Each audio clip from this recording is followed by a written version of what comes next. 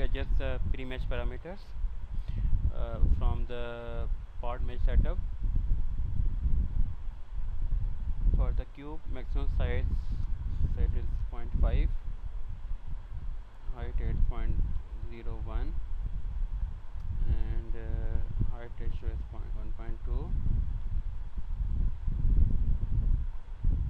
for sphere 0.02 maximum size 1 ratio 1.2 settings will remain same. Apply. Go to blocking and uh, pre-mesh parameters and update. Okay. now turn on the pre-mesh turn off the uh, surfaces. As well as the blocks there's the mesh quality and the mesh turn on the sphere. The mesh on the sphere. I am making some settings of the lighting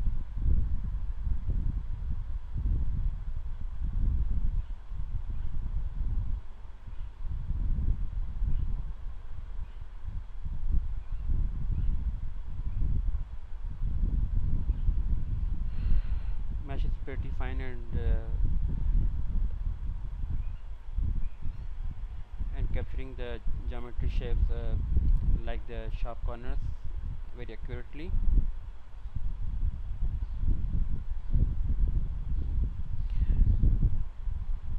Now I will turn on the scan planes to see the meshing in the interior of the fluid domain the scan plane also we need the edges for the scan planes to work. So select and select the edge. Also on the other side turn off the pre-mesh.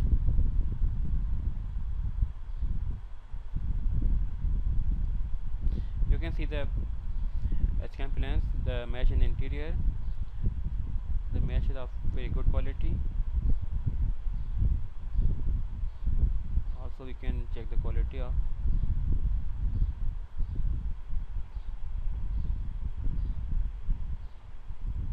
The quality is uh, greater than the 0.711 so minimum quality is 0.7 done.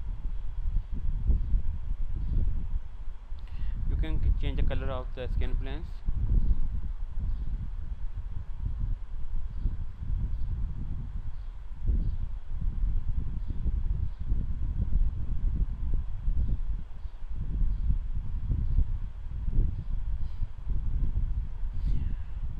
okay now we'll output the mesh to the to the fluent. So first we select the solver. And before that we convert the pre-mesh to the unstructured mesh.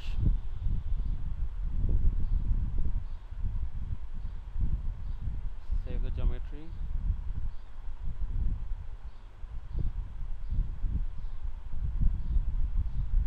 So first we select the solver so we are outputting for the ANSYS fluent set as a default apply. And uh, we select the boundary conditions for the cube the wall for the sphere. Against the wall for symmetry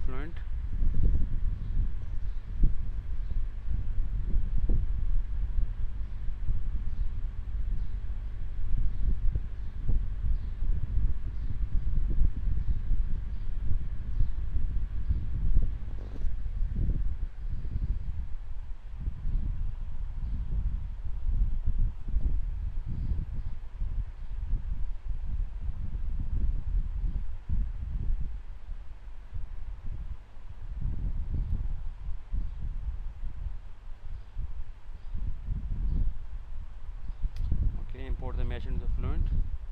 The sphere cube dot msh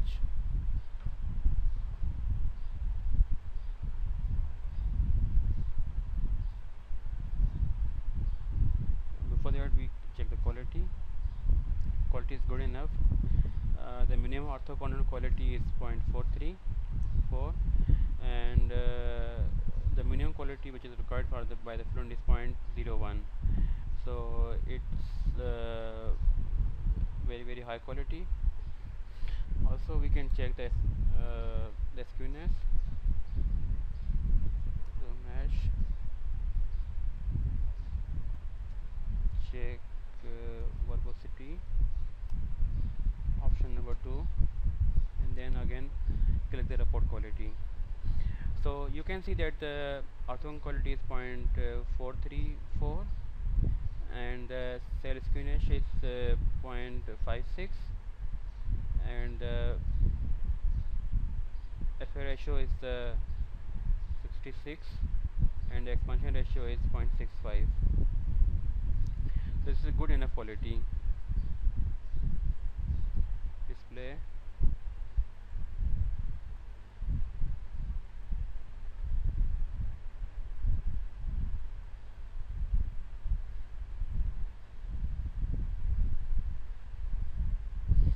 now let's say we want to uh, make the one face uh, of the cube as the inlet and the sphere uh, as the outlet. So we should define the part over here. Then we can output the mesh uh, with these boundary conditions.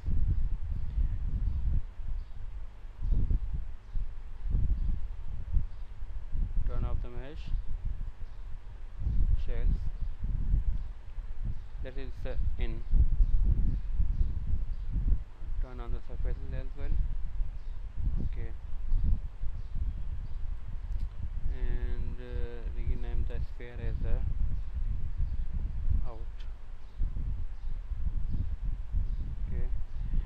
Uh, recompute the pre-mesh. And then again convert to the unstructured mesh. Replace. Go to boundary conditions. Okay now you get the in condition also. So delete this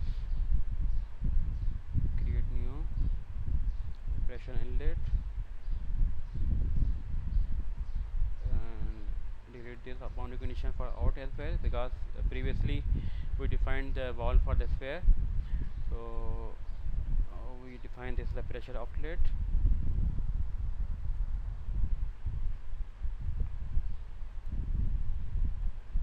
okay. Uh, now output the mesh file. Save the current project. Choose the unstructured mesh. And output the mesh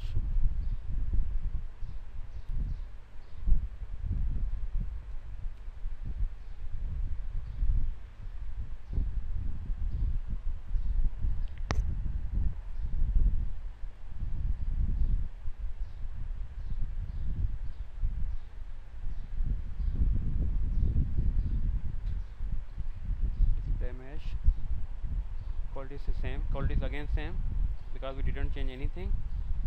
We just change the boundary conditions.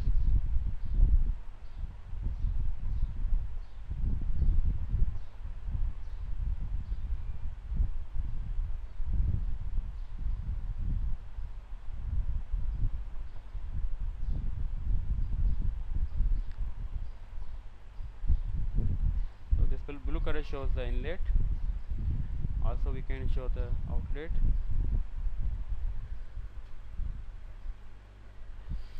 So this is now end of our tutorial. Thank you very much for listening this all and uh, we'll see you in the next lecture. Thank you very much